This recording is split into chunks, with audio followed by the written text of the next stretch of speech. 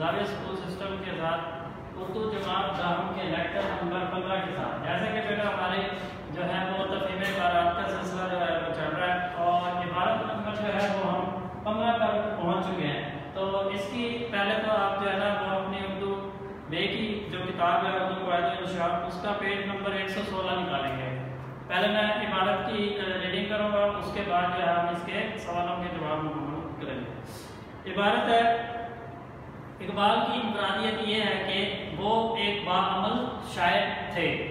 उन्होंने शेर के ज़रिए इस्लामी तालीमत, हसन अखलाक खुदी फ़क्र, दरवेशी और मगरब से बेजारी की तलकीन की और अपने अमल के ज़रिए उसका सबूत मुहैया किया। उन्होंने मुसलमानों की सियासी जदोजहद में हिम्मत, अपनी हिम्मत और ताकत के मुताबिक शिरकत की। गोलमेज कॉन्फ्रेंस में शिरकत के लिए यूरोप का सफ़र किया। इस्लामी कॉन्फ्रेंस में शिरकत के लिए फ़लस्तीन गए। नीज। इस्लामी अफकार, फ़िक्र की जमा अफकार और फलसफा की इशात के लिए हिंदुस्तान के मुख्तलिफ़ इलाकों, मसलन दिल्ली, हैदराबाद, दक्कन, मद्रास और बेंगलोर वगैरह के दौरे किए। मुसलमानों के इसरार पर पंजाब असम्बली में मुसलमानों के हकूक़ के लिए इंतखब में हिस्सा लिया। और तीन साल तक असम्बली में मुसलमानों के हकूक़ की जंग लड़ी। हती के इस्लाम के नफाज के लिए एक अलग खत्ता ज़मीन के असूल की राह दिखाई। पूरी दुनिया के मुसलमानों की को आज़ादी और तामीर नौ का बलबला दर्जा अदा किया।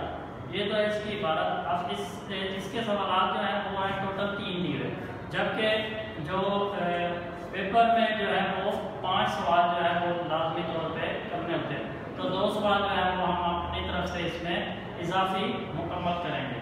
मसलन के पहला सवाल देखें इबारत का मौजूमान तहरीर करें। इकबाल की इनफरादियत, ये इसका मौजूमान हुआ। इसी तरह सवाल नंबर दो देखें, इकबाल ने शेर के ज़रिए हमें क्या तलकीन की? जवाब में देखें, इसका इकबाल रहमत ने हमें शेर के ज़रिए इस्लामी तालीमत, हुसन अखलाक, खुदे फ़िक्र और दरवेशी अपनाने, जंग के मगरब से बेदारी की तलकीन फरमाए यह इसका जवाब, सवाल नंबर दो। सवाल नंबर तीन देखें इकबाल ने इस्लामी अफकार की इशारत के लिए किन इलाकों का दौरा किया? जवाब, इलामा इकबाल ने इस्लामी अफकार की इशारत के लिए हिंदुस्तान के मुख्तलिफ़ इलाकों दिल्ली हैदराबाद दक्कन मद्रास और बेंगलोर वगैरह के दौरे किए। सवाल नंबर चार और पाँच, ये दोनों इजाफी हैं। ये भी नोट फरमा लें सवाल नंबर चार जो है, वो है, इलाम इकबाल ने गोल में इस कॉन्फ्रेंस में शिरकत के लिए कहाँ का सफ़र किया। जवाब देखें इकबाल ने गोल में कॉन्फ्रेंस में शिरकत के लिए यूरोप का सफ़र किया। इसी तरह सवाल नंबर पाँच है इकबाल ने किसके हिसाब पर पंजाब असम्बली के इंतबाब में हिस्सा लिया।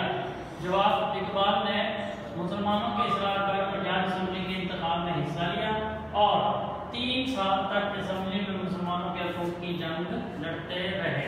तो यह है बेटा आपकी इबारत नंबर पंद्रह और इसे आपने अच्छे तरीके से याद करना है। किसी भी मसले की सूरत में आप जो है, वो स्कूल के दिए गए नंबर पर रबता कर सकते हैं या फिर स्कूल आकर जो है अपने मसले के हवाले से डिस्कस कर सकते हैं। बस शुक्रिया।